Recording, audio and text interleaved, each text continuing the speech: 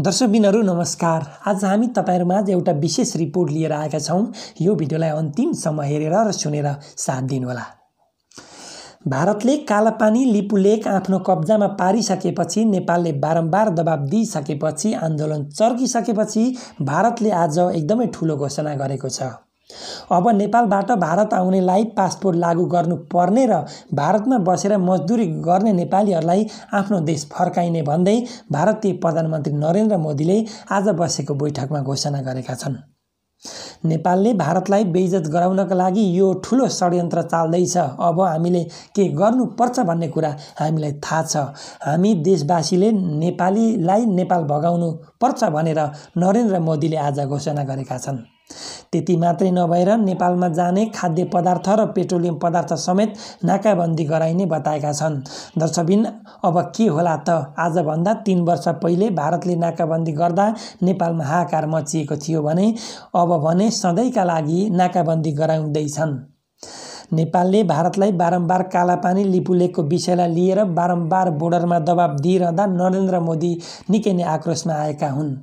दर्शकबिन अब के होला त? नेपाल र भारतको सम्बन्ध अब सम्बन्ध चाहिँ सधैँका लागि खत्तम हुँदैछ भनेर नरेन्द्र मोदीले बताएका छन्। नेपालबाट भारत आउने नागरिकलाई पासपोर्ट लागू गर्न र नेपालमा बसेका भारतीय नागरिकहरूलाई फर्काउने आज उनले घोषणा गरेका हुन्। दर्शकबिनहरू पछिल्लो समयमा कालापानी लिपुलेकको विषयलाई लिएर चर्काचर्की भारत र नेपालको ठुलो दुश्मनी बनेको छ। आजभन्दा करिब तिन वर्ष पहिले भारतले खाद्य पदार्थ पेट्रोलियम पदार्थ नाकाबन्दी गर्दा हाकार मचिसकेको नरेन्द्र मोदीले देखिसकेका थिए। भारत र नेपालको सम्बन्ध त एक बुढाबुढीको जस्तो सम्बन्ध थियो तर आज नेपालले यति ठुलो आक्रोश पोख्दैछ। अब हामी चुप लागेर बस्दैनौँ भन्दै नरेन्द्र मोदीले यो घोषणा गरेका हुन्। एक करोडभन्दा बढी नेपाली भारतमा भएको र भारत ले रोजगार दिएको भन्दै नरेन्द्र मोदीले अब आफ्नै देशका नागरिकहरूलाई मात्रै रोजगार दिने र आफ्नो देशलाई बाहिरी देशका नागरिकहरूलाई पासपोर्टको जरुरत पर्ने बताएका छन्। सबभन्दा बढी त नेपालका नागरिकहरू एक करोडभन्दा बढी भारतमा बसेर आफ्नो पेट पालिरहेका छन् भने अब भने त्यो बन्द गराउनै पर्छ भनेर नरेन्द्र मोदीले बताएका छन्। भारतमा पनि धेरै नागरिकहरू रोजगारविहीन छन्। बिचल्लीमा छन्। ती नागरिकहरूलाई हामी रोजगार दिन्छौँ र नेपालीहरूलाई चाहिँ नेपाल फर्काउँछौँ भन्दै नरेन्द्र मोदीले यस्तो घोषणा गरेको बताएका छन्।